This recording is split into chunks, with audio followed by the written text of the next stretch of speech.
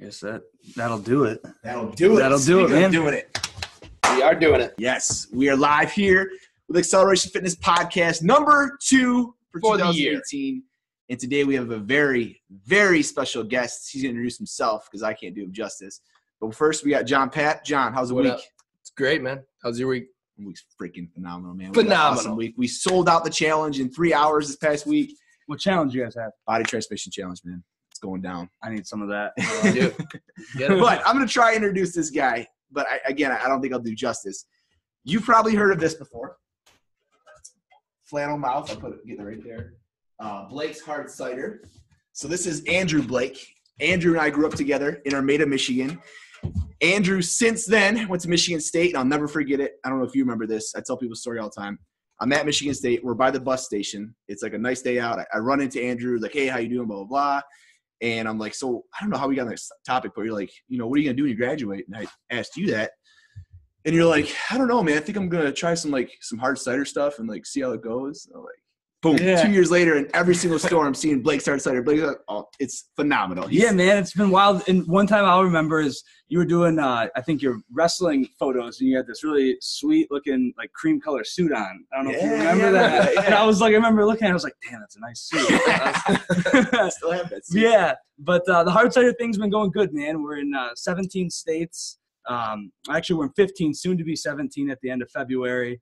Um, so lots of travel. Um, but things are good. I think we're the eighth largest craft hard cider company in the country right now. Really? Yeah. So and how things- old are you guys? Just the cider then? yeah, just the cider part of it. Uh, the family farm's been around since 1946, but um, the hard cider part, uh, we started. My dad, my cousin, my uncle, and myself uh, started in 2013. Okay. Wow. So it's been kind of a quick uh, evolution. Um, been uh, been a wild ride, a lot of travel. So that's why I'm here to. Uh, I got engaged this past year, Wow. and looking, yeah, looking to get my ass back in shape. I've been drinking probably like one too many of these flannel mouths have. and um, yeah, man, excited to uh, to come check out your spot. I've been following what you guys have been doing, and I mean the place is awesome. Yes. so And, we're, uh, we're pumped to get him back in shape. Yeah, we're gonna give it. you're We're out gonna, of shape, we're gonna give we're gonna give it a go. I ran a marathon, and I uh, this past October, and I had a goal of like four hours. Uh, ended up like you know four and a half. Which is like that's kind of like That's that's kind, that's kind of old man. Uh, Hey, that's that's still a marathon. that's though. all Not right, too many yeah. People can. Yeah, but that. but what I realized is like diets, like you know, basically eighty percent of it because I ran a marathon and I just ate like shit all the time. It's like, mm-hmm. yeah, I'm running, you know, pizza, beer, whatever. It doesn't work that way. At least when you're like getting looking down the barrel of thirty. And then when Yeah. you're done, you're like, okay, I need something else. Yeah, exactly. That's why I gave you a call. Yes. So he Go, gave me a call. We got him in, and now it's going down. But for this podcast, guys, and all the podcasts we do, we're gonna ask ask Andrew some simple questions and see his response. So, question number one: What is the book or book you've given most as a gift, and why? Or what are one of the books that you highly recommend? Um, both by Joseph Campbell, my favorite author. Um, uh, the Art of Living by Joseph Campbell and Myths to Live by. I've never heard any of these. Okay, yeah, they're awesome. Check them out. They basically three years ago I kind of ran across them. Um, it's kind of weird how books come into your life and then you're kind of like, I don't know how I lived my life. I didn't have if I didn't run across kind of some of those Yeah, messages. definitely. And uh, anyways, yeah, anyone who hasn't read them, check them out. Um, he's a wonderful um, religious scholar and um, and theologian and awesome books. So, So, Art so- of Living. Art of Living, yeah. So it doesn't get into all like any woo woo stuff or anything like that, but it's just a, a real practical approach to like looking at life. How did it change you? Uh, gave me just a, a interesting perspective on kind of the the the journey of life. You know, there, he basically was a big founder of the hero's journey. Mm-hmm. Kind of when you pick a goal, kind of how you know you go into like kind of the unknown, you come out and you you pull out kind of through that you kind of transform and transform your life and come out with you know an under, a great understanding. So um, if you get a chance, read it. It's an easy. It's not a hard read. That's my next Uh, book, man. I've yeah. never heard of Check, check it out. I'll, I'll bring it next reader? time.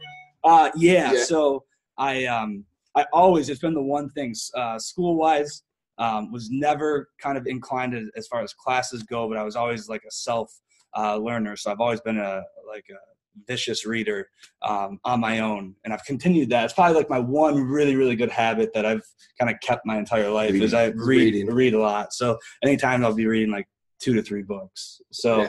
yeah, so Yeah. yeah, and, and sometimes yeah, my- and, and my fiance thinks I'm crazy because I have like one and I'll get like I'll put it down because I like just can't read it. and I'll jump over the other Yeah. one. So yeah, so if I could be as disciplined with like the rest of my life as I am with like reading it, Yeah. I'd be in a I'd be in a good spot.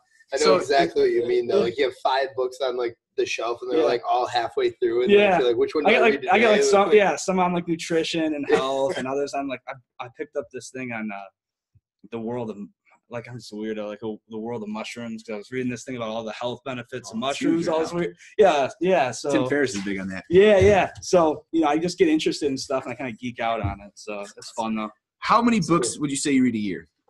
um I try to do um, at least two a month so That's At least 24 books. yeah There you I literally just had a meeting with one of my trainers, and I was like, "Do you read books yet?" He's like, "No, not really." I'm like, "Dude, employees read like two books a year. Yeah. CEOs read about 25 books a year. yeah That's so the difference." Yeah, and, and that's kind of uh, luckily I've always just been. It's kind of um, a ho- it's like one of my hobbies, so it kind of works out well. But yeah, I just like I get interested in things, and I kind of like get OCD and kind of like Like obsessed. yeah, I get kind of obsessive yeah. over certain I things. know- I so know so I'm wor- that, I'm yeah. working on that a little bit because sometimes I like just you know like. There'll be like an Amazon uh, box, and my fiance will open it up. She'll be like, "What did you order now?" And I'll be like, 10 books Ten books. mushrooms. yeah, she's like, "What are you doing?" That's I'm like, awesome. I don't know. That's cool. That's Yeah. cool. Question number two. Number two, what purchase of a hundred what purchase of a hundred dollars or less in the last six months has really made an impact on you know it could be anything from productivity to you know just everyday life, nutrition, anything. So one purchase. One purchase. Um, I will say the Headspace meditation app. Um, So okay. it's like two ninety nine a month, uh, and that's been something. It's probably been uh, one of the things in the last couple of years that um, just kind of having like a hectic work uh, life schedule. It's been one of the really uh, one of the really healthy things that I've done for myself. Uh, in, in kind of trying to keep balance with just trying to run a business, have a social life, party, work out, do all those sorts of things. It's kind of like focuses you in on some like just personal alone time, which I think is healthy as you're kind of doing, as you're kind of just out and active and doing things all the time. You're So first to say that. yeah, yeah. So I um yeah, so I started doing that, and now I'm kind of getting really into it. Not just like uh just doing the app, but but uh, you know trying to learn a little bit about the process. And I mean, there's tons of stuff just from like uh from like health benefits. Even like Mhm. you know they're they're they're talking about just meditating can kind of re-regulate like hormones and kind of your stress levels and things within your body uh, and so i just find all that kind of fascinating and i mean and all you have to do is like breathe Breathe, yeah. and think Just- of nothing Yeah, exactly. it's exactly. like pretty Right. easy Which So- is yeah. yeah It- so it is pretty crazy. Yeah. The fact that it can John, do you meditate? So I don't. I've tried. So I don't. Tradition. I always tell people this. I don't traditionally meditate. Yeah. Like you know what I mean. But for me, it's like working out. Like that is my Yeah. meditation because I'm not thinking of anything else. Like yeah that's the same it's thing with, living in the moment. Like it's whatever you're doing then. So I have more success doing it that way than just trying to sit down. same thing as running Yeah, I yeah. running's the same way. Runners I are like You'll that. get there. You'll get there. Maybe one day. I since I saw him two years ago, had my family there at Blake's. I don't know how we got on the topic of meditation. I seriously saw you for like two seconds at Blake's Hard Cider. You're like, oh, I've been meditating. Try this Headspace app. Since that day, I've been meditating every single. you have Dude, I love Hey, meditation. all right yeah I love it good meditation. I need to get this app. Yeah, definitely, man. It's just, it's. I think it's something you. it makes you less reactionary to things and like i kind of need that because i'm always like you know you especially as you kind of uh, get involved more and more and if you're you know around clients or employees or whatever i think having kind of a a, Yeah. a little bit of a space between like your reactions Yeah. and like your thoughts a little That bit i mean sense. you can- yeah, it's it's fun, man. I, the Headspace app, just so you guys know right now, the way they do it now, it used to be the start series was ten minutes long, Yeah. like each day. Now they're three minutes, so I Yeah. think anybody can really get their start with Headspace.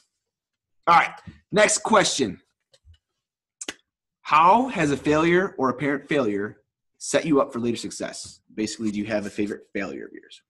Uh, lots of them. Uh, but yeah, probably my biggest one was actually really recently, and I don't know if it set me up for success, but I learned a lot from it, and I think in in a little bit. So we have the hard cider line, and we kind of uh, recently launched an, an ale line, a fruit ale line, and I guess I kind of thought that with the um, just kind of the success of the hard cider, that would kind of just kind of you know overflow into whatever other line we we did and i think i ru- i think i rushed it kind of assumed it would be a success didn't do kind of the uh, due diligence that we've done with all of our other products and um, yeah and it, and it hasn't been a f- complete failure but it definitely didn't uh, meet the expectations that I had hoped for. And I think now we're going to go back to the drawing board, uh, relaunch a similar program in a year with doing our due diligence and, and, and making sure that we dot all our I's and cross all our T's. So, you know, it's kind of one of those things where uh, I think I just, you know, saw opportunity and kind of rushed it.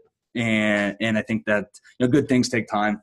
So and, and and you can't let your ego get in the way of of trying to um, you know you think you have a success one you know with one thing it doesn't necessarily mean it's going to translate. You know you got to do you got to put in the work and Put do the hard time. stuff in. yeah exactly. So um so that was that was a recent one. It was a failure but you know it didn't hurt us too bad. And there's I think our whole team learned from our marketing team to our design team to uh, you know our production team. Everyone kind of learned uh, I guess I think a lesson from it Yeah. as far as what not to do moving forward. You know. That's awesome. Yeah. I think it's just cool that hearing your take on failure because you have such an upbeat thing with failure. You could tell like it's not like, man, I tried this ale thing, it's like completely failed. You're just like upbeat, like, hey, we're gonna learn a lot from this and go back to the drawing board and make it better. Yeah, I mean, if it doesn't tank your business and it doesn't like you know ruin your personal life, you know, it's like that that's recoverable. You know, so it's all right. That's awesome. So Very cool.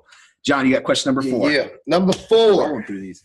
All right. If you could have a giant billboard anywhere where you know whoever can see it, Yep. what would you have on it? Could be a picture, a quote, you know, anything you want. What would it say or be? uh drink more cider but no um no but honestly i think that if it was just like one word it would be uh it'd probably be like sacrifice because i think that um there are uh so many people who want to do a lot of really really amazing things and i think their hearts are all in the right place but i think that's ultimately probably one of the greatest human inventions is sacrifice it's kind of what separates us from animals you if you're willing to delay some pleasure now for like you know a larger reward later i think you have to be able to do that and i know that's something that like fitness people are really good at right? Because you're willing to not eat that jets pizza which is my favorite food. Um, but you know I willing to like eat that jets pizza because you want to make sure you, you you know you're staying in shape and re- reaching your fitness goals. You're going to do that workout. So you know i see a lot of correlation to the you know the sacrifice part of it uh, in your guys' world. But um, I mean, in so many ways, whether you know it's the amount of hours you're going to put in, or you know the amount of time you're spent to learn and understand your industry, um, and you know what you're going to sacrifice currently, even if it's you know you know unfortunately having fun with friends, or unfortunately even, um, and I think it's important to balance this, but and not spending as much time with your family as you'd want to. But I think you have to, uh, if you want something uh, big and bold, I think you have to sacrifice for it. So um, that's one thing that I've I've been pretty. Uh, I've tried to discipline myself to to make sure that that's kind of just what it takes, and you just kind of get in a mindset that, that that's what it is. So What are Um, ways you get in that mindset? Like, for instance, you have a fiance now. yeah, Like, how does that? And there's probably a lot of times where you're traveling, not Yeah. the time. I think just being really honest and just you know at at least you know being honest with what your goals are and where you want to be, and you know the people that support you will be along for that for that ride a little bit. And I you know I think it's you know it struggles because you try not to be selfish uh, and you don't want to be selfish, but you know I think at a certain time if you're honest then it's not really selfish because everyone knows kind of where you're at. You know, so I kind of I, I try to get. Uh, in that mindset and i just kind of overarching you know kind of growing up on a farm and my dad and uncle were just extremely hard workers and, and so i just kind of saw that they didn't talk about it much they didn't do it they just they constantly just did it so you just kind of like put yourself in that mindset a little bit so and i think the people around you know my mom was always real supportive of my dad and it was just kind of like a thing that just kind of became part of what your what your normal is everyone has a different normal right Mhm. so just you kind of change what that normal is and then you adapt a little bit i think I think I was in seventh grade, and the whole like town of Armada used to go to Gulf Shores, Alabama for spring break. Right. and I'll never forget this. I remember being like just watching this happen, like, damn. So we're in Gulf Shores, Alabama, and it's like the best place to be as a kid. You don't want to be anywhere else. It's beach, there's girls, everything. We're like playing basketball every Water day, having fun. And I remember all of a sudden I'm with Joey Zeppelin, and you guys had to leave, I think, two days early because something happened at the farm. Yeah. And I remember Mr. Zeppelin and like everyone telling me, like, yeah, they're just going. Like everyone just accepted it. Like I think your mom was like, yeah, we're packing up, we're going. Like that I would have cried my eyes out. If like, no, we're leaving, but everyone's just like on the same page. Just gotta do it. So talking about sacrifice, I mean, that's Yeah, right it's just, it's just kind of part. It's just kind of part of it. And Gulf Shores, man, I still that was that was a good time. talk all day about that one. awesome, awesome. Water balloons off the top of. Oh my gosh. Yes. and jellyfish. Yeah.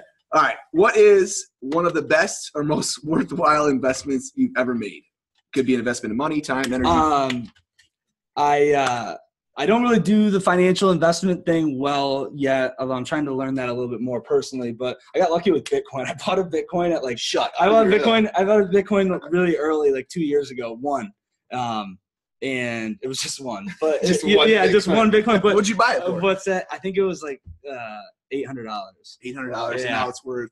Yeah, I sold it. I sold it at, when it was Wow. yeah when it was up to like when it kind of hit its peak. So I got I got lucky there. God, that. it's But- I can't wrap my head. Yeah, You're the only person I've ever met that's actually Yeah, bought I bought a one. I bought One one. Bitcoin yeah, just wild. one. Yeah, just one.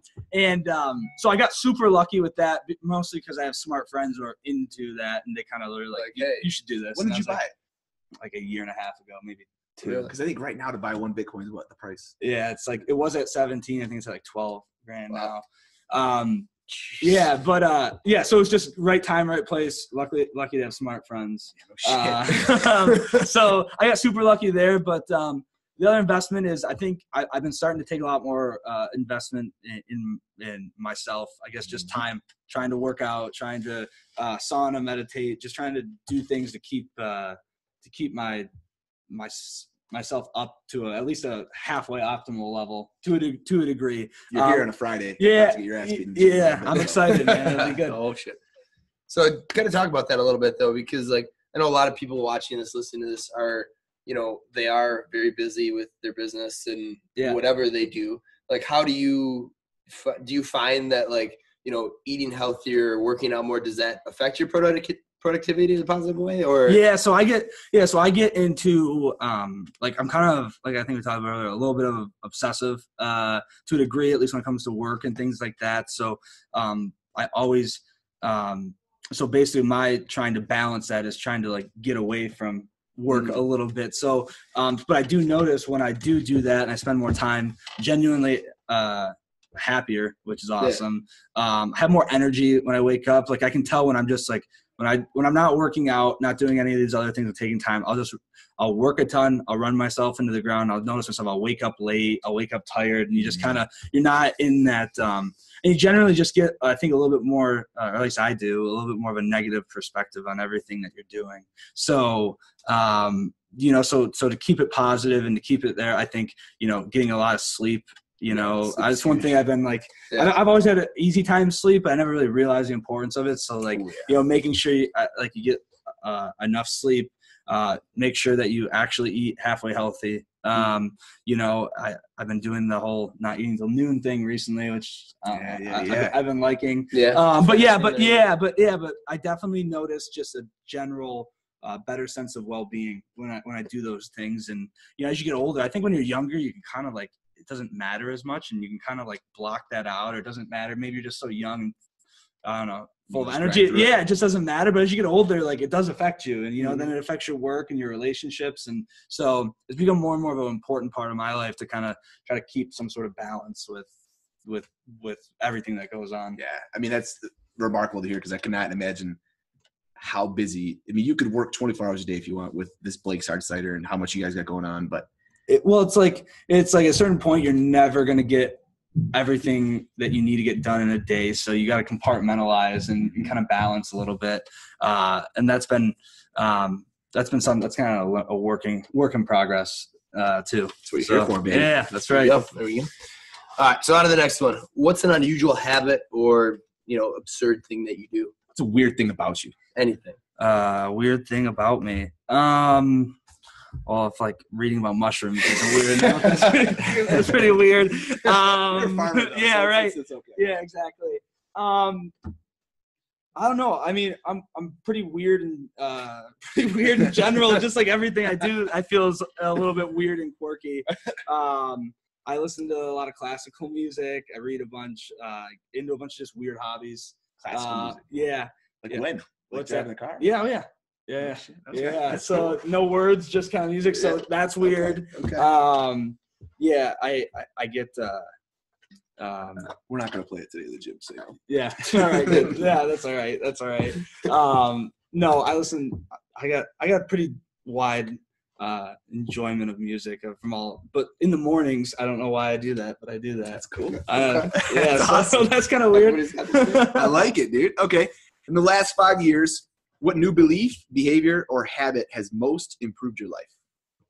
Mm, habits been meditation for sure, uh, for sure, for sure, and uh, yeah, and I think I think uh, I, I've been kind of coming to a belief uh, a little bit that you can't necessarily like force where your life is going to take you. Uh, and I think when you do, it causes a lot of stress and anxiety. Uh, it, but best thing to do is what I'm. Tr- this is like a slow revelation over the last like two years of kind of like hitting a wall on some things is that you just got to keep your vehicle you're just you're just in a vehicle going to a destination that you're not sure where that's taking you just got to keep your vehicle like tuned up and in good shape. And then you'll be able to get there in the quickest best most efficient way possible. Uh, and so i think that that's kind of what i've been trying to like and i know it's kind of counter to uh, what um, I don't know. Like you definitely want to have a goal and you want to have. I'm not saying that, but I think that uh, to understand that that goal um, might not be where you end up, and then that has to be okay. And you and it might be even better than where a lot of you hear a lot of people. You know, some of the some people that I really admire. They're like they they've gotten this place that they never dreamed of, right? And that means I think what they were is they they kind of had a goal. Um, but they kept their their vehicle in in a good place to be able to optimize and and to adjust on that. So because what I've realized is like if you set, especially people who are like very ambitious, very um, you know, very focused. I mean, that goal can kind of drive you crazy into like kind of an insanity, almost to the point of insanity where you're like, you know, and, you, and you're not patient enough, and you know, you don't know the timeline for that goal. You don't know what it's going to take to get there, how long it's going to take to get there. And I think the best thing to do is have that goal, do the small things in between to get to that goal, and then keep your keep your stuff, uh, you know, be in as prime a possible position to take advantage of when you get a big opportunity to leap really close to that goal. So I think that's it because I think um, there's like kind of an obsession with like one specific goal, and I think that makes you too rigid. Like who knows? You know, you don't necessarily know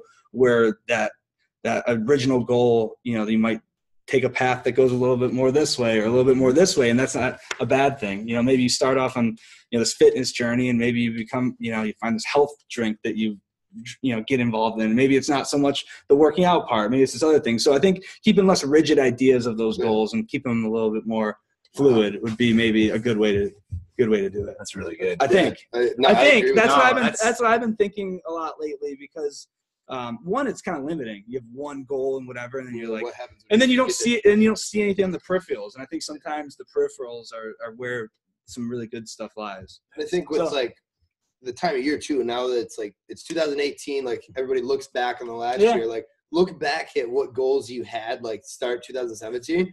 And my guess is for most people, like the best things that happened weren't actually those things. right You know yeah what I mean? yeah yeah They, they were probably related to it somehow. Yeah. But you know, it was getting towards that, and then some other opportunity came up that yeah. probably ended up being yeah. better. and i think sometimes if you have a little bit of a faith in in in in life and just how things will work out that sometimes good things just get really awesome things opportunities just get placed in front of you and they're not really things you necessarily worked for. Yeah. i met my fiance like on a blind date randomly you know? So like that wasn't i wasn't planning or whatever. So some of the best things that happen uh kind of just Come up out of happen yeah it just Yeah. kind of happened and so i think just keep your stuff keep your mind right your health right and everything in between and and then you know just chip away daily a little bit Like it. i think I think I know it's it's that's spot on. It's Yeah. it's something that you don't hear often too because it's so easy to say go to your goals, write your goals. and Yeah. I'm one of those guys that says that. yeah But now looking at it, especially with weight loss, yeah I want to lose 50 pounds. I gotta lose 50 Yeah. pounds by November.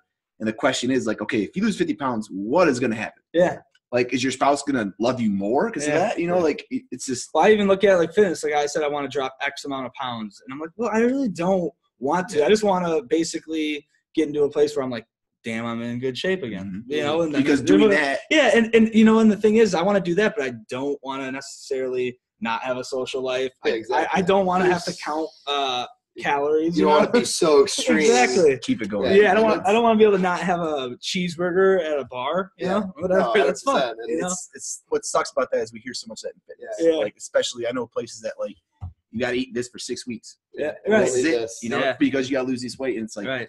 And that's why I'm like, if you can work out and you maybe not eat till noon, and maybe you make sure you have, you know, and I don't have the answer because that's fitness has been the one thing that I've been able to discipline. I think it's really easy to be disciplined to other people. Um, that's why it's kind of cool doing this thing because you're kind of Mhm. disciplined to to y'all. Mhm. Uh, but it's some, sometimes it's really hard to be disciplined to yourself. Mhm. You Oh, know, that's kind of the hardest. I You gotta think, you know. I mean, Yeah. that's we talk about this all the time. Is like we are like fitness guys. We do Yeah. this stuff for a living, right? But like, like I write his programs. Like Yeah. I've done his programs. Like you know, we all kind of intermingle and, Yeah, 'cause and when- coach each other. when you have someone else, it kind of you feel almost more Accountable. accountable to that person than you do yourself. You know, Exactly. so next question. All right. Dropping knowledge here, man.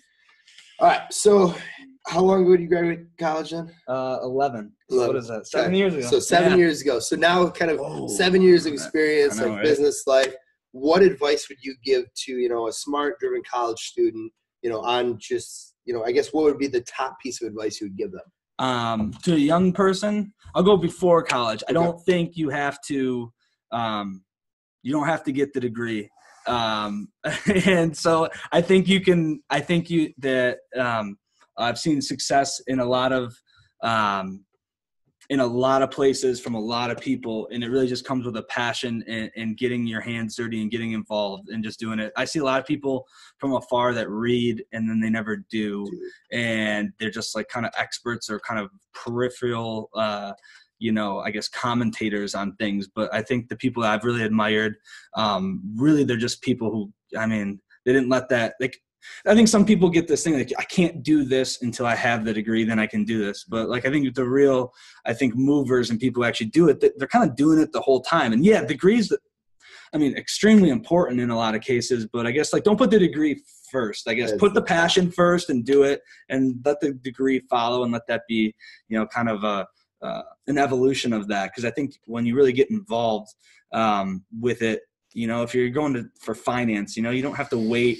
uh, till you have the finance degree to start, you know, investing hundred dollars, you know, and play around in the stock market or whatever. You know, you don't have to do that. If you want to be a fitness expert, you're probably, you know, you're going to school for it, but you're probably learning it through trial and error all the while through, you know. And so I think some people, uh, unfortunately, they kind of wait to get the degree before they like really um, get the experience, and I think they get caught in this thing where they never can move forward without you know having like some sort of certification or whatever you know? So i don't know. That'd be i think and i don't think that um if people don't want to go to school i think there's a lots of great opportunities for people who want to get into like vocational programs and you know more skilled trades and crafts. I think that that's equally as admirable and i don't think enough people do that. Um anyway so i don't think that the university necessarily is the all the the end all be all for all people i think people should feel okay about that there's no it shouldn't there's not it's not like it's a black flag you Yeah. know i didn't go so I hope my wife is watching this right now because we have this topic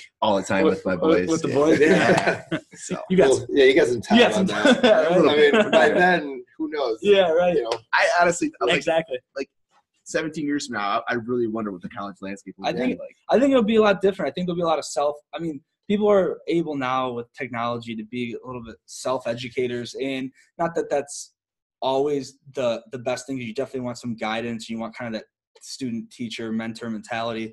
Um, but I think there's going to be a whole. I think it's going to be a whole different deal, you know. And I think um, the one thing I think with colleges right now is like the a lot of times the academic and the academia in college is like like ten years behind the Mhm. actual newest and up to date actual. of actual deal. I, I yeah, I know that. I know that's like a thing in like med schools now.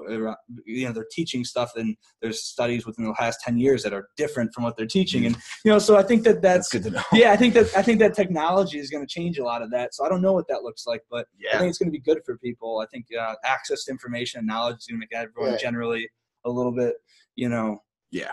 More capable. And yeah, If I followed the stuff I learned in college about weight loss and nutrition, Yeah, no. I wouldn't have one weight loss client No. because. yeah, right. Yeah, Straight you up, know what I yeah. mean? That's. I mean. Yeah. I mean, I think we can every. Let me hold up. Let me, let me pause myself because I don't want Michigan State to look bad because I would say in my classes, like in the curriculum, that kind of stuff. Yeah. I didn't learn too much. I, I don't re- remember that much. But the hands-on from Michigan State, from Coach Ken Mannie, Yeah. Mike Vorkapich, those guys where they put me in the trenches And and said, that's, just that's fucking learn. doing. Yeah. That's Yeah, you know that's do it. exactly what you're saying. That's, That's where I doing. learned That's the internships. That's the going out and and trying Getting- these yeah, things. right. Whatever you're learning, applying them. Yeah, and what was that whole thing? Even like with Dio, isn't it like the whole you couldn't have fats? You know, 'cause Yeah, you're I mean, that's low and, now, fat, right? and now isn't that like I, it's, it still exists today. Well, People are like, people come in all the time and they're like, "Well, I can't eat fat. Like it's gonna make me fat." I'm That's drinking. not how it works. I drink almond milk because it's a lot less fat. Yeah. Yeah, right. Yeah. You know, that's that yeah, right. So yeah, that's like a whole you know. yeah. So it's exactly the same. All right, on this Yeah. topic, Yeah. here's the next question. Anyways. What are bad recommendations you hear in your profession Um, or area of expertise? Drinking anything but Blake's. Yeah, right. Um, bad recommendations. Uh, that's a that's a good one that I hear in my. Just in business in general. Yeah, I guess you could use this business and Let me think on that one. we'll come back to it. this number. Yeah, what's the next one? In the last that one. I five don't know. years, what have you become better at saying no to?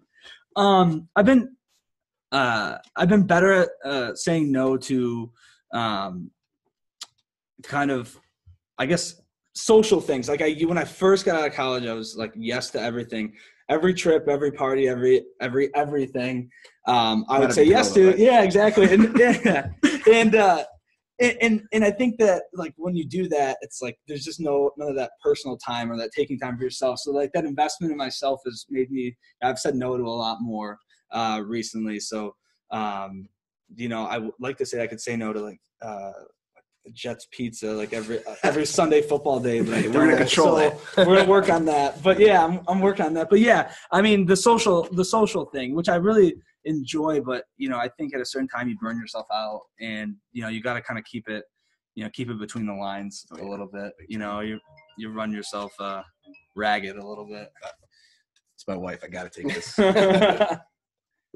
Hey, Sam. Hello? Hey, you're on the podcast right now. You called in. Hi, Sam. It's our first call and guest. Hello? Hey, We're live on a podcast with Andrew Blake. Say hi.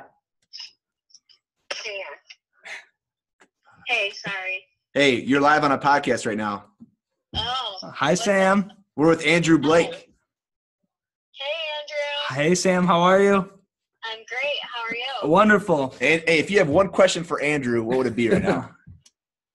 Uh, well, I could start drinking right now. So, what hard cider do you recommend? Uh, that's a good question. We have um, our newest um, cider coming out. Actually, uh, it came out last week. We have our Rainbow Seeker, which is uh, pineapple and sage cider. So, getting ready for some tropical, yeah, a little Sage. tropical flavor for the uh, spring and uh, summertime. Big rainbow colored can. You can't miss it. Oh, love it. I'm just leaving the doctors with two um, sick boys. So, getting them out the door and in the car was a challenge. Is date night canceled or are we good? Topical. Uh, no, we should be good. All right, cool. All All right. right. Well, right. Bye, Bye. Sam. Bye. Good luck with the you, Sam. kiddos. Love you. Love you too. Okay, back to Two it. sick kids, huh? Yeah. Hey, another day, man. Another day. Yeah. Last question. This is a good one. Well, second to last, we got to go back to that Yeah. one too. So when you feel overwhelmed or unfocused, what do you do? I, mean, I think we kind Uh, of touched on this already. Yeah. So I one thing I do pretty well is I I go for a walk. So luckily I work on a farm. So um, basically, if I'll um, what I'll notice happening is something will like happen early and it'll kind of linger. You know, when you start getting kind of a repetitive mindset, this is what I'll do. Is I'll I, I kind of ruminate probably too much on things, like just think over and over. So when I notice myself doing that, I'll either meditate, go for a walk, uh, or listen to like a song that I know, and I'll just like sing it in my head, and then it kind of stops that. back. Yeah, it gets it back because you kind of get in a loop, right? Or at least I do. Like I'll be thinking about something, and it's a loop, a loop, and if it's not a good thing, it's like Yeah. probably shouldn't. Put you in a bad spot. Yeah, right, exactly. So, and there's things to do, you know. So working to be a little bit more present. But what was the question that I didn't do? So what are bad ec- or recommendations or advice, you know, in your profession and business in general, career, whatever? Uh, Okay, actually, um, that you have to know what you're doing to do, to do something. Okay. um, yeah, I don't think you actually have to. I think you just. I think if you jump in. So I look at like the hard cider thing. Um, as much as I would like to tell the story that I was really good at it, and when we even started Blake's, the products we um, originally came out with were the best ever. That wasn't the case. It was a. It's been an evolution. I'd say now um, our products are the best, but when they started off, I mean, there was you know every other company out there was making better products than us probably you know? I mean it was just myself and uh, my buddy casey beeman and we were um, just making stuff in my grandpa's garage and then we kind of transferred over this little production facility and they were good but they weren't nearly the level we're at now so you don't have to basically i think sometimes that that model of perfection before you release or something. I'm much more of a believer in the work in progress model um, of things, especially if you're starting small. It's a different thing if you're, you know, I don't know, you have all this capital and you're just going to launch this huge gym right off the bat and everything has to be perfect because you have that much invested in it. But when you're the one beautiful thing I think about doing a startup, starting from the ground up, starting, you know, um, your own personal business, especially if it's small, is like you don't have to be perfect. As long as you just keep making the improvements along the way, you eventually get there.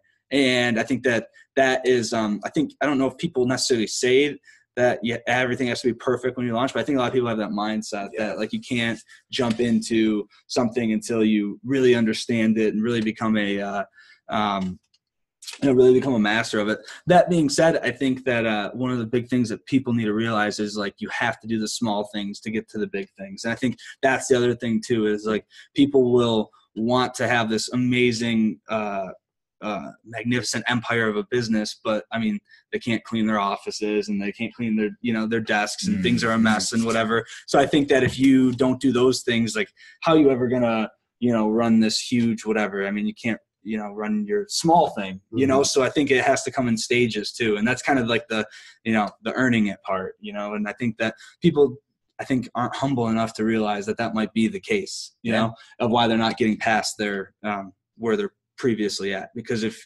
you know it'll i mean it'll implode if you don't do the small things along the way. So yeah because it's really easy to always think of the big things and the big grandiose things but i think if people have a like a uh, one thing i think meditation helps with is you get a like more of a removed view where you're not just so in your goals and these big things and you kind of step back and you know there's all these other things that need to happen along the way. You know you don't go from here to there necessarily you know? I mean that's very very rare. Can happen, but it's rare. You know. I'm learning a lot from this so, podcast. Yeah, this, yeah, is, this, that's, this my, is my thought. This is good. So, but what, one common thing I'm hearing though is like, I'm reading Tribe of Mentors by Tim Ferriss, which is like yeah, world-renowned artist. I mean, just big name people, but also a lot of what you said is similar to what I hear from my mentor Rob Farrell.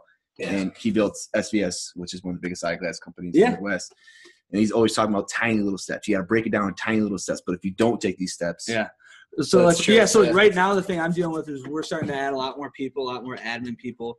And one thing I can't figure out is how to keep our offices clean and everyone's workspace. So like you go into like, you know, I don't know, um, Quicken Loans or whatever, and you notice everyone's office is like dialed in, and like everyone has the respect for the job, or maybe it's just the the elevation of what's expected at that place of work, where it's like, you know, it's it's tidy, neat, organized. Their systems, you know, and ours is I kind of like it a little bit, but it's a little chaotic, messy, and whatever, and that's great. But you know, trying to figure out how to kind of ingrain that in the culture where you know everyone kind of takes ownership of their own space and uh, that sort of thing. And that's like a weird little thing. I don't even know what that really means for the business, if it helps, hurts, or whatever. But it's just something I've noticed that it's like hmm, you see these other businesses that are evolved much further than where ours is, and like these things aren't happening. So what? Mm-hmm. How did those things not happen? How, what's different there than at our place. So um, those are some of the things that I kind of look at. Let me back up a couple steps. You said that this right here was started in your what garage? Whose garage? My grandpa's garage. You guys were just experimenting. Me and Casey were. How old yeah, were you? Uh, we were. Uh, se- no, yeah, seniors in college. So, in college. so 22. So did you 22 ever, years old. Yeah. Like, did you guys have any experience? Like, anyone in your family have experience like brewing anything? Did you think or? this would happen? No, no, didn't think this would happen. I thought it. I thought it would happen. I didn't think it would happen uh, to this level. Um, but yeah, honestly, how we learned was uh, YouTube, yeah. and wow. and we went to some people in the state that were making it, and we were like, "Let us work a day with you." Yeah. And so we worked a day, and we're like, "For free." Yeah, for free. And then we were just like, this is amazing. And we were just like, "Hey," and then we were kind of came back, and we're like, it's not that hard. We Really. can Actually, like, we can definitely do this. And and then like and then you just kind of jump in and uh, yeah. And then you know we kind of had the expectation we wanted it to be really good, um, but we knew that we'd evolve on it, so it didn't have to be absolutely perfect. And you know you just kind of evolve it from there. So Yeah. That's not a lesson for anyone out there, like who's got a dream. I mean, he started his garage. He went and worked for free just to see how it was done. YouTube Only did, which day. anybody can do. Yeah. But I mean, that's that's what you do. yeah reach This- out and reach out to people man people will be willing to share experience and i mean multiple times in business uh you know it's amazing you can learn one cool thing about humans you can you don't have to go through all the pains that all the people previous to us had you can kind of take a few leaps and some jumps and learn from people and people in my experience are pretty willing to be like don't do that that i spent two years messing around Everyone loves this. Yeah. yeah, exactly. So I think people really do want to help and want to give insight. And if you're willing to ask questions and be humble and try to learn, Yeah. uh, I think that there's a wealth of knowledge from just people who are well, you know, ready and willing to give it. So And I think for you know most people too, like they don't get those questions a lot. Yeah. Like because people are scared to ask them. So Right. like they're Yeah. like, yeah, I want to help. Like, you know I mean, yeah, don't be afraid to ask. You're like, how did you do this? How I mean, you, what's you know? the worst that can happen? They say, you know, Yeah. I don't have time for this right now. See it. Like that's the worst that can happen. yeah, Bye. and that doesn't happen. Yeah, you know. It doesn't happen. Yeah, Yeah. right. This guy came up. to me as an intern, Yeah. and he goes, um, "I'm like, is this for a degree? Is this for something?" He goes, "No, I just want the experience." He had two jobs, college kid, like, Yeah, and I was like, "You're hired yeah, on the spot." Like, boom, let's go. You know what I mean? So I didn't hire him on the spot. He had Right. to work for it, like six months interning, but it was like, yeah, I knew I want this guy here. right. Another guy reached out to me from like Ohio. He drove four hours up here this summer just to shadow me for a day. for- yeah, for Yeah. like four like- hours. To, He's like, dude, I didn't think you'd answer. I'm like, of course I'd answer. Yeah. Yeah, come on. He hasn't been back because I did a, a track workout with him, and It's probably gonna me today. but Never coming back. So, um, no, man, it was good. Thank you for having me on. now, Andrew, so that's where great. can Yeah, the where can people people find find you you? besides Um, in every single? Yeah, Meijer, Kroger, uh, most of your targets, um, most bars will carry it. Um, if you're in the Midwest or any of our uh, 17 states, just type in your zip code uh, on our cider finder at blakeshardcider.com and it'll tell you all the spots closest to where you're at uh, and where you can find us. Awesome. boom. And Xceleration Fitness members, next Monday we're gonna do shotguns before our sprints of this stuff, just to Have support fun. Andrew. Well, Uh, but thanks for having me on, guys. Instagram, Thank. Facebook. Appreciate it. Uh, yeah, I'll put it Andrew. in the show notes. Yeah, but if you want. Andrew Paul Blake and Blake AN89 uh, on Instagram. So this is Xceleration There you Fitness podcast number two for 2018, guys. Tune back in next week. We have our our next special guest. Cool. Thanks, guys. Chase, see you. Oh shit. Eleven. Eleven. What is that? Seven Okay. years ago. So seven Yeah. years ago. So now, kind of Whoa. seven years of experience, I know, like right? business life. What advice would you give to you know a smart, driven college student? You know, on just you know, I guess what would be the top piece of advice you would give them? Um, to a young person, I'll go before college. I don't think you have to. Um, you don't have to get the degree. Um, and so I think you can. I think you that um, I've seen success in a lot of um, in a lot of places from a lot of people and it really just comes with a passion and, and getting your hands dirty and getting involved and just doing it i see a lot of people from afar that read and then they never do and they're just like kind of experts or kind of peripheral uh you know i guess commentators on things but i think the people that i've really admired um really they're just people who i mean they didn't let that like I think some people get this thing like I can't do this until I have the degree, then I can do this. But like I think the real, I think movers and people who actually do it, they're kind of doing it the whole time. And yeah, degrees, I mean, extremely important in a lot of cases. But I guess like don't put the degree first. I guess put the- passion first and do it, and let the degree follow, and let that be you know kind of a uh, an evolution of that. Because I think when you really get involved um, with it, you know, if you're going to for finance, you know, you don't have to wait uh, till you have the finance degree to start, you know, investing hundred dollars, you know, and play around on the stock market or whatever. You know, you don't have to do that. If you want to be a fitness expert, you're probably, you know, you're going to school for it, but you're probably learning it through trial and error all the while through, you know. And so I think some people, uh, unfortunately, they kind of wait to get the degree before they like really um, get the experience, and I think they get caught in this thing where they never can move forward without you know having like some sort of certification or whatever you know so i don't know that'd be i think and i don't think that um if people don't want to go to school i think there's lots of great opportunities for people who want to get into like vocational programs and you know more skilled trades and crafts. I think that that's equally as admirable, and I don't think enough people do that. Um, anyway, so I don't think that the university necessarily is the all the the end all be all for all people. I think people should feel okay about that. There's no, it shouldn't. There's not. It's not like it's a black flag. You Yeah. know, I didn't go. So I hope my wife is watching this right now because we have this topic all the time with, my boys. with the Yeah. boys. Yeah. so you got. Well, yeah, you got some time Yeah, on that. time, I mean, by then, who knows? Yeah, right. You know, I honestly, exactly like exactly. 17 years from now, I I really wonder what the college landscape will I be think- like. I think it'll be a lot different. I think there'll be a lot of self. I mean, people are able now with technology to be a little bit self educators, and not that that's always the the best thing. You definitely want some guidance. You want kind of that student teacher mentor mentality. Um, but I think there's going to be a whole. I think it's going to be a whole different deal, you know. And I think um, the one thing I think with colleges right now is like the a lot of times the academic and the academia in college is like like ten years behind Mhm. the actual newest and up to date actual. of actual deal. I, I know, yeah, I know that. I know that's like a thing in like med schools now. You know, they're teaching stuff, and there's studies within the last ten years that are different from what they're teaching, and you know, so I think that That's that's good to know. yeah, I think that I think that technology is going to change a lot of that. So I don't know what that looks like, but yeah. I think it's going to be good for people. I think uh, access to information and knowledge is going to make everyone Right. generally a little bit, you know, Yeah. More capable and yeah, If I followed the stuff I learned in college about weight loss and nutrition, Yeah, no. I wouldn't have one weight loss client No. because. yeah, right. Yeah, Straight you up, know what I yeah. mean? That's. I mean. Yeah. I mean, I think we can every. Let me hold up. Let me, let me pause myself because I don't want Michigan State to look bad because I would say in my classes, like in the curriculum, that kind of stuff. Yeah. I didn't learn too much. I, I don't re- remember that much. But the hands-on from Michigan State, from Coach Ken Mannie, Yeah. Mike Vorkapich, those guys where they put me in the trenches And and said, that's- "Just that's fucking learn." Dewey. yeah. That's Yeah, you know that's do exactly it. what you're saying. That's That's where I doing. learned That's the internships. That's the going out and and trying Getting- these yeah, things. right. Whatever you're learning, applying them. Yeah, and what was that whole thing? Even like with diet, wasn't it like the whole you couldn't have fats? You know, 'cause Yeah, you I mean, I and, mean, it's low now, fat, right? and now isn't that like I, it's, it still exists today. Well, People are like, people come in all the time and they're like, "Well, I can't eat fat. Like it's gonna make me fat." "I'm That's drinking. not how it works. I drink almond milk because it's a lot less fat." Yeah. You Yeah, right. Yeah. You know, that's that yeah, right. So yeah, that's like a whole, you know, yeah. So it's exactly the same. All right, on this Yeah. topic, Yeah. here's the next question. Anyways. What are bad recommendations you hear in your profession um, or area of expertise? Drinking anything but Blake's. yeah, right. Um, bad recommendations. Uh, that's a that's a good one that I hear in my. Just in business in general. Yeah, I guess you could use this business and Let me think on that one. we'll come back to it. this number. Yeah, what's the next one? In the me think on last one. Five years, what have you become better at saying no to?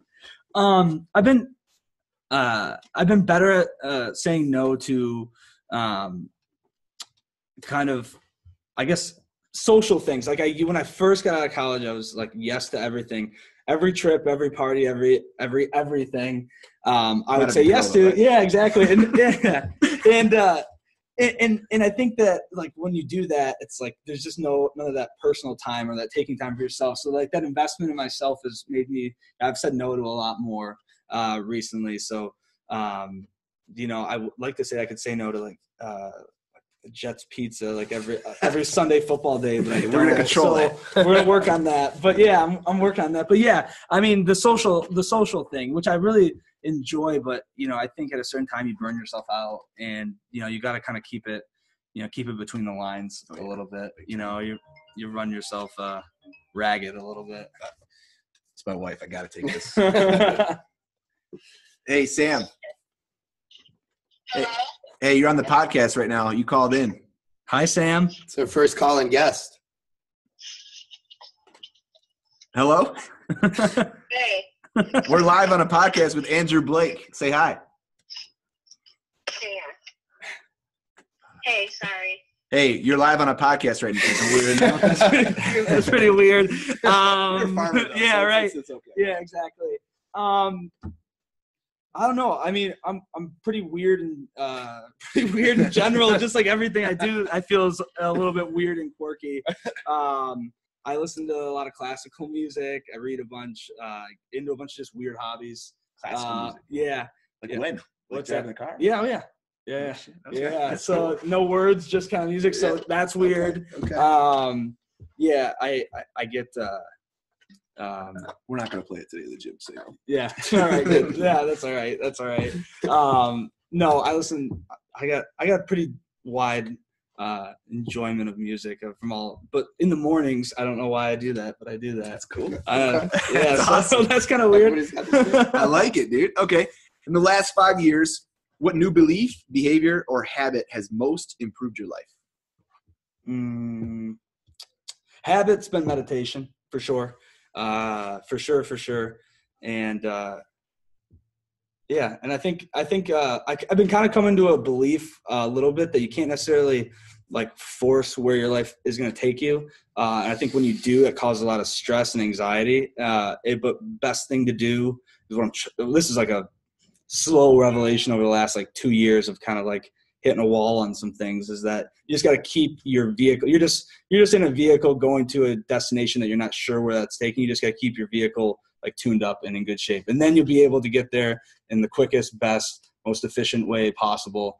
Uh, a- and so i think that that's kind of what i've been trying to like and i know it's kind of counter to uh, what um, I don't know. Like you definitely want to have a goal and you want to have. I'm not saying that, but I think that uh, to understand that that goal um, might not be where you end up, and that has to be okay. And you and it might be even better than where a lot of you hear a lot of people. You know, some of the some people that I really admire. they're like they they've gotten this place that they never dreamed of, right? And that means I think what they were is they they kind of had a goal. Um, but they kept their their vehicle in in a good place to be able to optimize and and to adjust on that. So because what I've realized is like if you set, especially people who are like very ambitious, very um, you know, very focused. I mean, that goal can kind of drive you crazy into like kind of an insanity, almost to the point of insanity where you're like, you know, and, you, and you're not patient enough, and you know, you don't know the timeline for that goal. You don't know what it's going to take to get there, how long it's going to take to get there. And I think the best thing to do is have that goal, do the small things in between to get to that goal, and then keep your keep your stuff, uh, you know, be in as prime a possible position to take advantage of when you get a big opportunity to leap really close to that goal. So I think that's it because I think um, there's like kind of an obsession with like one specific goal, and I think that makes you too rigid. Like who knows? You know, you don't necessarily know where that that original goal. You know, that you might take a path that goes a little bit more this way or a little bit more this way, and that's not a bad thing. You know, maybe you start off on you know this fitness journey, and maybe you become you know you find this health drink that you you know get involved in. Maybe it's not so much the working out part. Maybe it's this other thing. So i think keeping less rigid ideas of those goals and keeping them a little bit more fluid would be maybe a good way to good way to do it. That's really good. i think. I, no, i think. with that's you. what i've been that's- that's, what i've been thinking a lot lately because um, one it's kind of limiting you have one goal and whatever and then you. you're like What happens when and then you don't see it and you don't see anything on the peripherals and i think sometimes the peripherals are, are where some really good stuff lies I think with So- like the time of year too. Now that it's like it's 2018, like everybody looks back on the last Yeah. year. Like look back at what goals you had like start 2017. And my guess is for most people, like the best things that happened weren't actually those things. right You know yeah what I mean? yeah yeah They, they were probably related to it somehow. Yeah. But you know, it was getting towards that, and then some other opportunity came up that yeah probably ended up being yeah better. and i think sometimes if you have a little bit of a faith in in in in life and just how things will work out that sometimes good things just get re- awesome things opportunities just get placed in front of you and they're not really things you necessarily worked for Yeah. i met my fiance like on a blind date randomly you know so like that wasn't i wasn't planning or whatever so some of the best things that happen uh kind of just came out happened. of. Yeah, it just Yeah. kind of happened. And so I think just keep your stuff, keep your mind right, your health right, and everything in between, and and then you know just chip away daily a little bit. Like it. I think. I think I know it's it's that's spot on. It's Yeah. it's something that you don't hear often too because it's so easy to say go to your goals, write your goals. and Yeah. I'm one of those guys that says that. Yeah, But now looking at it, especially with weight loss, yeah, I want to lose 50 pounds. I gotta lose 50 Yeah. pounds by November. And the question is like, okay, if you lose 50 pounds, what is going to happen? yeah.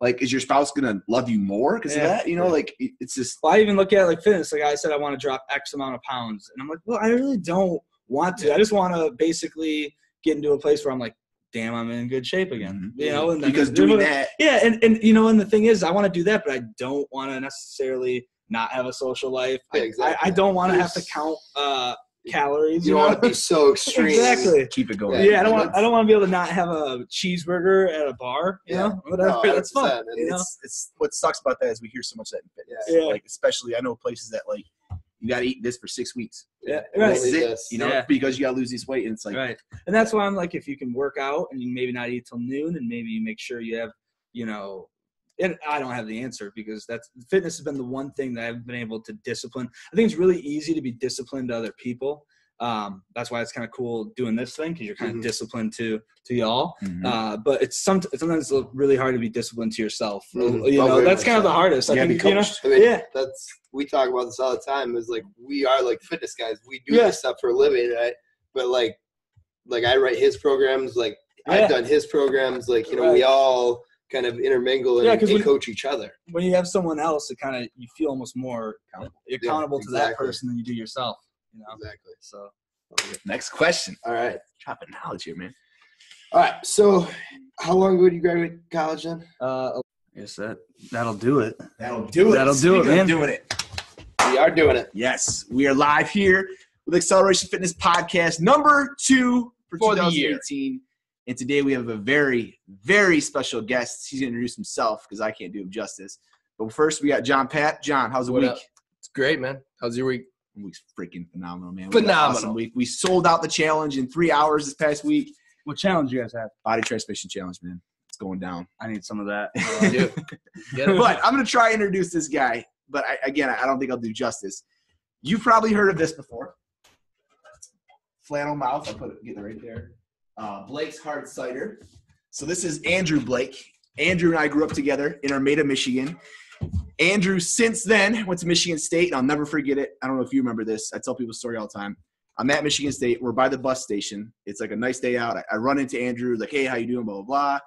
And I'm like, so I don't know how we got on this topic, but you're like, you know, what are you gonna do when you graduate? And I asked you that, and you're like, I don't know, man. I think I'm gonna try some like some hard cider stuff and like see how it goes. And I'm like, boom. Yeah. Two years later, in every single store, I'm seeing Blake's Hard Cider. Blake, oh, it's phenomenal. He's- yeah, man, it's been wild. And one time I'll remember is you were doing, uh, I think your wrestling photos, and you had this really sweet looking like cream color suit on. I don't know if you remember yeah, that. yeah. And I was like, I remember looking, at it, I was like, damn, that's a nice suit. I still have that. suit. Yeah, but uh, the hard cider thing's been going good, man. We're in uh, 17 states.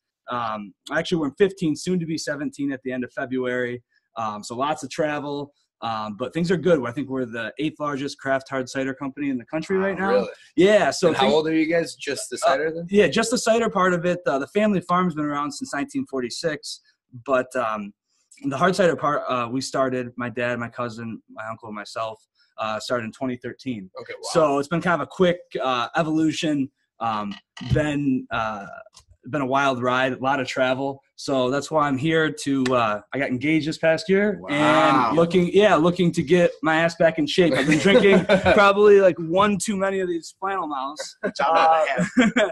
and um, yeah, man, excited to uh, to come check out your spot. I've been following what you guys have been doing, and I mean the place is awesome. Yes, And, so we're, uh, we're pumped to get him back in shape. Yeah, we're gonna give it. We're gonna, shape, we're gonna give we're gonna give it a go. I ran a marathon, and I uh, this past October, and I had a goal of like four hours. Uh, ended up like you know four and a half, which is like that's kind of like That's that's kind crazy, that's kind of old man. Uh, Hey, that's, that's still a marathon. that's though. all Not right, too many yeah. People can. yeah, say but that. but what I realized is like diets like you know basically 80% of it because I ran a marathon and I just ate like shit all the time. It's Mm-hmm. like, yeah, I'm running, you know, pizza, beer, whatever. It doesn't work that way. At least when you're like getting looking down the barrel of 30. And then you when you were done, you're like, okay, I need something else. yeah, exactly. That's why I gave you a call. Yes. So he Go, gave me a go. call. We got him in, and now it's going down. But for this podcast, guys, and all the podcasts we do, we're gonna ask ask Andrew some simple questions and see his response. So, question number one: What is the book or book you've given most as a gift, and why? Or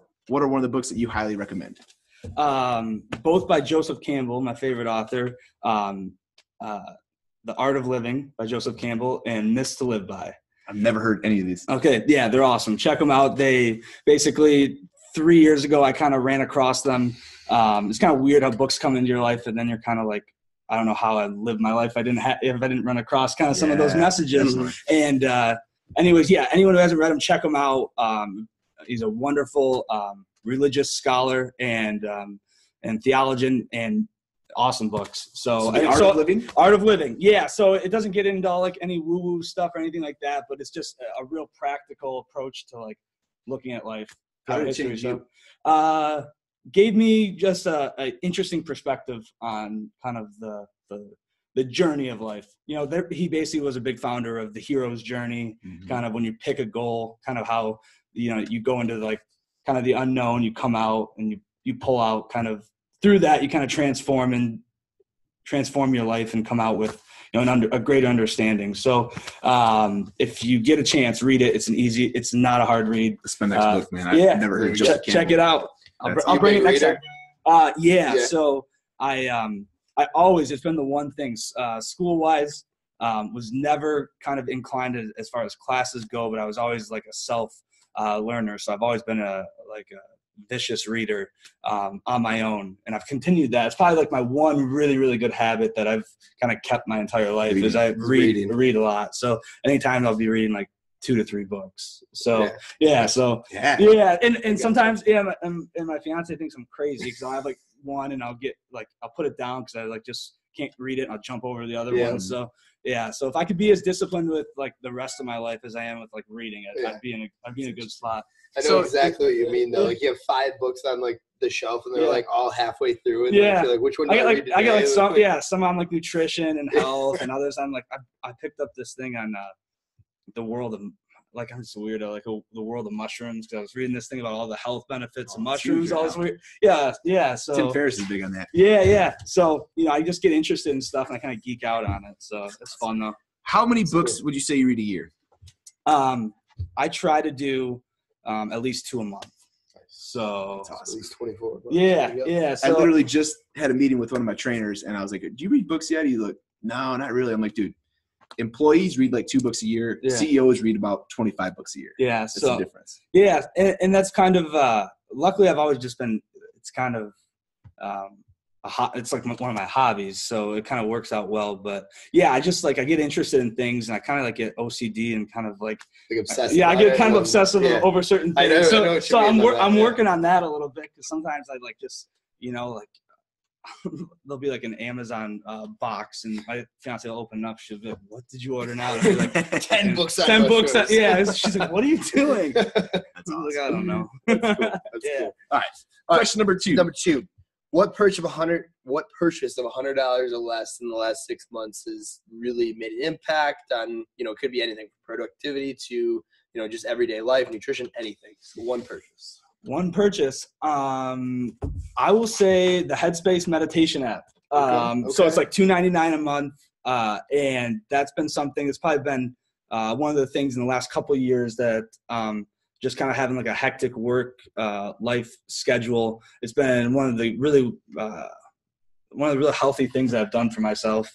Uh, in, in kind of trying to keep balance with just trying to run a business, have a social life, party, work out, do all those sorts of things. It's kind of like focuses you in on some like just personal alone time, which I think is healthy as you're kind of doing, as you're kind of just out and active and doing things all the time. You're So first to say that. yeah, yeah. So I um yeah, so I started doing that, and now I'm kind of getting really into it. Not just like uh just doing the app, but but uh, you know trying to learn a little bit about the process. And I mean, there's tons of stuff just from like uh from like health benefits. Even like Mhm. you know they're they're they're talking about just meditating can kind of re-regulate like hormones and kind of your stress levels and things within your body uh, and so i just find all that kind of fascinating and i mean and all you have to do is like breathe Breathe, yeah. and think Just- of nothing Yeah, exactly. it's like pretty Right? easy Which So- is yeah. yeah It- so it is pretty crazy. Yeah. impact that it can John, do you meditate?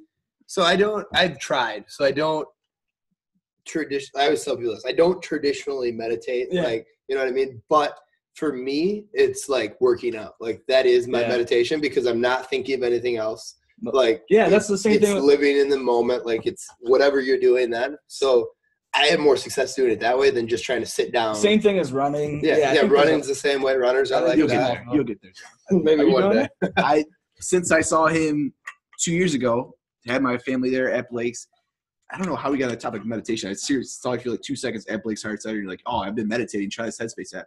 Since that day, I've been meditating every single. you day. have dude. I love All it. right, yeah. I Isn't love it good? meditation. I need to get this app. Yeah, definitely, man. It's just, it's. I think it's something you. it makes you less reactionary to things and like i kind of need that because i'm always like you know you especially as you kind of uh, get involved more and more and if you're you know around clients or employees or whatever i think having kind of a a, Yeah. a little bit of a space between like your reactions Yeah. and like your thoughts a little Right, bit. I mean. You can, yeah, it's it's fun, man. I, the Headspace app, just so you guys know right now, the way they do it now, it used to be the start series was ten minutes long, Yeah. like each day. Now they're three minutes, so I Yeah. think anybody can really get their start with Headspace. All right, next question: How has a failure or apparent failure set you up for later success? Basically, do you have a favorite failure of yours?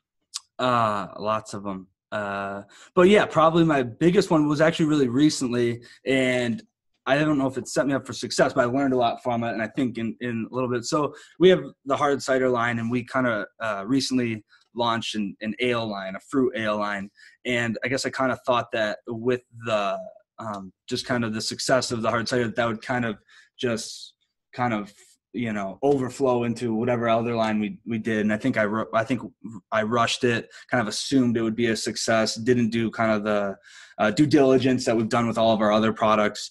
And um, yeah and it, and it hasn't been a complete failure but it definitely didn't uh, meet the expectations that i had hoped for. And i think now we're going to go back to the drawing board uh, relaunch a similar program in a year with doing our due diligence and and, and making sure that we dot all our i's and cross all our t's. So you know it's kind of one of those things where uh, I think I just you know saw opportunity and kind of rushed it, and and I think that you know good things take time. So and and, and you can't let your ego get in the way of of trying to. Um, you know, you think you have a success one, you know, with one thing, it doesn't necessarily mean it's going to translate. You know, you got to do, you got to put in the work and Put do the the, hard time. stuff in. Yeah, exactly. So, um, so that was that was a recent one. It was a failure, but you know, it didn't hurt us too bad. And there's, I think, our whole team learned from our marketing team to our design team to uh, you know our production team everyone kind of learned uh, i guess i think a lesson from it Yeah. as far as what not to do moving forward you know That's awesome. Yeah. I think it's just cool that hearing your take on failure because you have such an upbeat thing with failure. You could tell like it's not like, man, I tried this ale thing, it's like completely failed. You're just like upbeat, like, hey, we're gonna learn a lot from this and go back to the drawing board and make it better. yeah i mean if it doesn't tank your business and it doesn't like you know ruin your personal life you know it's like that that's recoverable you know so it's all right That's awesome. so Very cool. John, you got question number four. Yeah. Number We're four. going through these. All right. If you could have a giant billboard anywhere where you know whoever can see it, Yep. what would you have on it? Could be a picture, a quote, you know, anything you want. What would it say or be? uh drink more cider but no um no but honestly i think that if it was just like one word it would be uh it'd probably be like sacrifice because i think that um there are uh so many people who want to do a lot of really really amazing things and i think their hearts are all in the right place but i think that's ultimately probably one of the greatest human inventions is sacrifice it's kind of what separates us from animals you if you're willing to delay some pleasure now for like you know a larger reward later i think you have to be able to do that and i know that's something that like fitness people are really good at right? Because you're willing to not eat that Jet's pizza which is my favorite food. Um, but you know, willing to like eat that Jet's pizza because you want to make sure you, you you know you're staying in shape and re- reaching your fitness goals. You're going to do that workout. So you know i see a lot of correlation to the you know the sacrifice part of it uh, in your guys' world.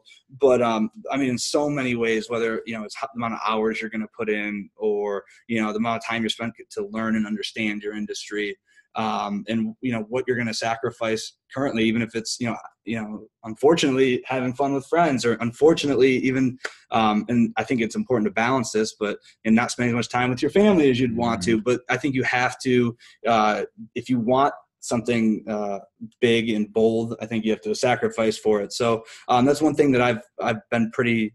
Uh, I've tried to discipline myself to to make sure that that's kind of just what it takes, and you just kind of get in a mindset that, that that's what it is. So What are Um, ways you get in that mindset? Like, for instance, you have a fiance now. yeah, Like, how does that? And there's probably a lot of times where you're traveling, not Yeah. spending time. I think just being really honest and just you know at at least you know being honest with what your goals are and where you want to be, and you know the people that support you will be along for that for that ride a little bit. And I you know I think it's you know it struggles because you try not to be selfish uh, and you don't want to be selfish, but you know I think at a certain time if you're honest then it's not really selfish because everyone knows kind of where you're at. You know, so I kind of I, I try to get. Uh, in that mindset and i just kind of overarching you know kind of growing up on a farm and my dad and uncle were just extremely hard workers and, and so i just kind of saw that they didn't talk about it much they didn't do it they just they constantly just did it. So you just kind of like put yourself in that mindset a little bit. So, and I think the people around, you know, my mom was always real supportive of my dad, and it was just kind of like a thing that just kind of became part of what your what your normal is. Everyone has a different normal, right? Mhm. So just you kind of change what that normal is, and then you adapt a little bit. I think. I think I was in seventh grade, and the whole like town of Armada used to go to Gulf Shores, Alabama for spring break. All right? and I'll never forget this. I remember being like just watching this happen. Like, damn. So we're in Gulf Shores, Alabama, and it's like the best place to be as a kid. You don't want to be anywhere else. It's beach, it's girls, everything. We're like playing basketball every Water day, having fun. And I remember all of a sudden I'm with Joey Zeppelin, and you guys had to leave. I think two days early because something happened at the farm. Yeah. And I remember Mr. Zeppelin and like everyone telling me like, yeah, they're just going. Like everyone just accepted it. Like I think your mom was like, yeah, we're packing up, we're going. Like that, I would have cried my eyes out. Of like, no, we're leaving, but everyone's just like on the same page. Just gotta do it. So talking about sacrifice, I mean, that's Yeah, right it's just, it's just kind of part. It's just kind of part of it. And Gulf Shores, man, I still that was that was a good time. talk all day about that one. awesome, awesome. Water balloons off the top of. Oh my gosh, yes. and jellyfish. Yeah.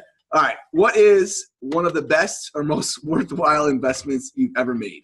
Could be an investment in money, time, energy. Um, I uh, I don't really do the financial investment thing well yet, although I'm trying to learn that a little bit more personally. But I got lucky with Bitcoin. I bought a Bitcoin at like Shut. I bought a Really? Bitcoin. I bought a Bitcoin really early, like two years ago. One, um, and it was just one. But Just yeah, one yeah, just one Bitcoin. But What'd you buy it for? what's that? I think it was like uh, eight hundred dollars. Eight hundred dollars, and Yeah. now it's worth. Yeah, I sold it. I sold it at, when it was Wow. yeah when it was up to like when it kind of hit its peak. So I got I got lucky there. With God, that. But- still- but- I can't wrap my head. Yeah. You're the only Bitcoin person I've ever met that's actually Yeah, bought I bought a one. Bitcoin. I bought One one. Bitcoin yeah, just lot. one. Yeah, just one. And um, so I got super lucky with that, mostly because I have smart friends who are into that, and they kind of were like, Like, "You- hey, "You should do this." When And did you was buy it? Like, like a year and a half ago, maybe two. Really? Because I think right now to buy one Bitcoin is what the price. Yeah, it's like it was at 17. I think it's at like 12 grand Wow. now. Um, yeah, but uh, yeah, so it's just right time, right place. Luckily, lucky to have smart friends.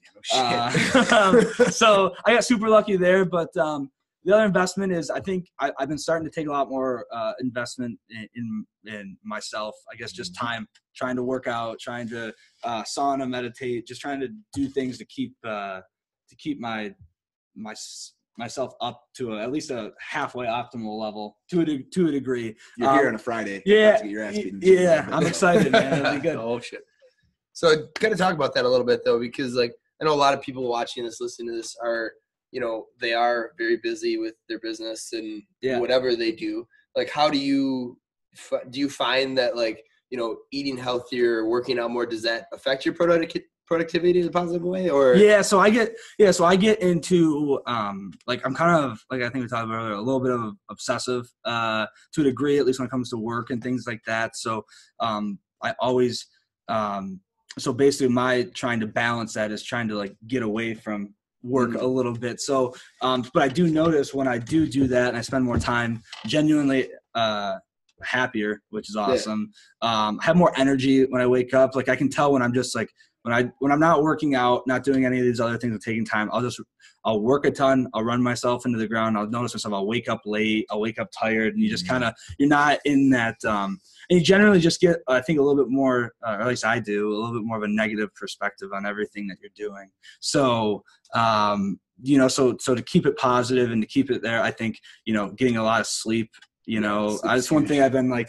Yeah. I- I've always had an easy time sleep, but I never really realized the importance of it. So like Ooh, yeah. you know making sure you uh, like you get uh, enough sleep uh, make sure that you actually eat halfway healthy um, you know I, i've been doing the whole not eating till noon thing recently which um, Yeah, yeah, I, I've- yeah. I've, been liking yeah um, but yeah but Yeah. yeah but yeah but i definitely notice just a general uh, better sense of well-being when I when I do those things, and you know, as you get older, I think when you're younger, you can kind of like doesn't matter as much, and you can kind of like block that out, or it doesn't matter. Maybe you're just so young and I don't know, full of energy. it. Yeah, it just doesn't matter. But as you get older, like it does affect you, and you know, Mm-hmm. then it affects your work and your relationships, and so it's become more and more of an important part of my life to kind of try to keep some sort of balance with with with everything that goes on. Yeah, I mean that's remarkable to hear because I cannot imagine how busy. I mean, you could work 24 hours a day if you want with this Blake's Hard Cider and how much you guys got going on. But It, well, it's like it's like at a certain point you're never gonna get everything that you need to get done in a day. So you got to compartmentalize and, and kind of balance a little bit. Uh, and that's been um, that's been something that's kind of a, a working work in progress uh, too. That's what you're So, here for, baby. Yeah, that's right. Yep, there we go. All right, so on to the next one. What's an unusual habit or you know absurd thing that you do? It's a weird thing about you. Anything? Uh, weird thing about me. Um, well, if like reading about mushrooms.